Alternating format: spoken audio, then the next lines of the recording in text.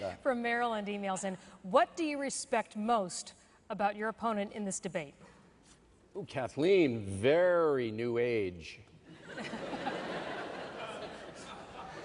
it's a tough one. Can y'all come up with something? I mean, I would say uh, the man coordinates a mean outfit. Khaki.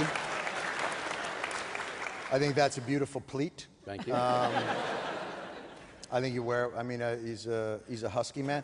Listen, I I appreciate the fact that uh, you know a man built like a yeti can move so fluidly.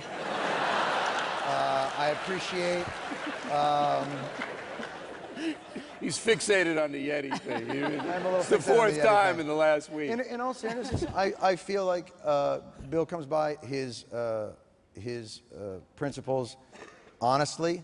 I think he's a smart guy. I think he's uh, a funny guy. Uh, he's enjoyable to spar with.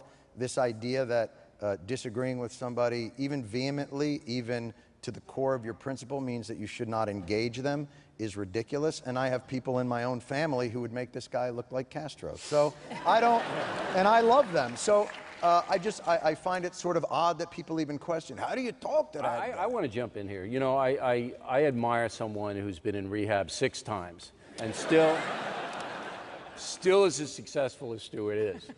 Um, He's like every guy ever cut off at a bar. I mean, it's the kind of thing.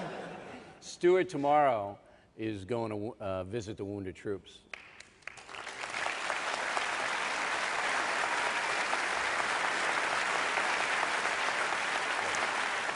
Sarah from